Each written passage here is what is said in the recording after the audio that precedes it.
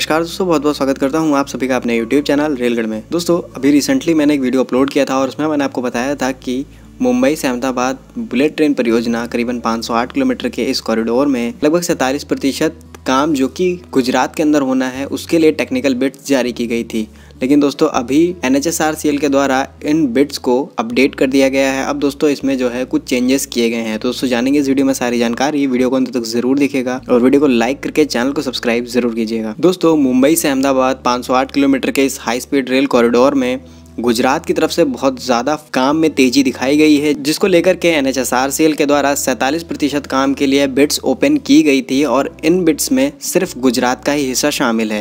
दोस्तों, ये काम के लिए बिट्स जो है ओपन इसलिए की गई थी क्योंकि वहाँ पे जो है पिछहत्तर प्रतिशत भूमि अधिग्रहण का काम हो चुका है और नाइन्टी परसेंट होने में बहुत कम समय लगेगा। तो इसलिए वहाँ पे सैंतालीस प्रतिशत काम के लिए बिट्स ओपन की गई थी। दोस्तों, आठ अक्टूबर 2020 को इन बिट्स में थोड़ा सा अपडेट किया गया और इन बिट्स में और इस काम को सैंतालीस प्रतिशत से बढ़ाकर चौंसठ प्रतिशत कर दिया गया। यानी कि 508 किलोमीटर कॉरिडोर में से 325 किलोमीटर कॉरिडोर को बनाने के लिए टेक्निकल बिट्स जो हैं, वो जारी कर दी गई हैं। तो दोस्तों, ये एक बहुत अच्छी खबर है गुजरात की तरफ़ से।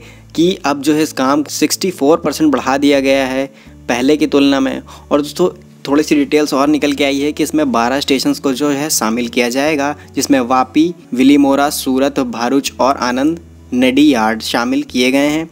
और दोस्तों, यहाँ पे अहमदाबाद और साबरमती के बीच में करीबन 18 किलोमीटर पुल के डिज़ाइन के निर्माण के लिए भी बोलियाँ ओपन कर दी गई हैं और इसमें करीबन छः स्टील पुलों का निर्माण होगा और इसमें करीबन 31 क्रॉसिंग ब्रिज का जो है निर्माण किया जाना है जिसके लिए टेक्निकल बिड्स जारी की गई हैं। तो दोस्तों बस कुछ इतने ही अपडेट निकल के आए हैं। अपडेट्स तो बहुत सारे हैं। यहाँ पे बहुत सारी बातें ये कही गई हैं कि स्टेशन के अंदर आपको क्या क्या सुविधाएँ मिलेंगी। हालाँकि ये सारी चीज़ें बहुत सारी वीडियोज़ में कवर किया जा चुका है और भी अगर आपको ज़्यादा डिटेल्स पढ़नी है तो, तो NHSRCL ने अपने ऑफिशियल वेबसाइट पर इस प्रोजेक्ट से रिलेटेड डिटेल्स एक पीडीएफ अपलोड किया है। पीडीएफ का लिंक मैं आपको नीचे डिस्क्रिप्शन में भी दे दूँगा। आप वहाँ से भी इस पीडीएफ से सारी डिटेल्स पढ़ सकते हैं। फ़िलहाल के लिए दोस्तों, इस वीडियो को यहीं खत्म करते हैं। वीडियो आपको कैसा लगा वीडियो को लाइक करके बताइए। वीडियो को लेकर के मन में कोई सवाल है या फिर आप किसी भी टॉपिक पर वीडियो चाहते हैं तो कमेंट ज़रूर कीजिए।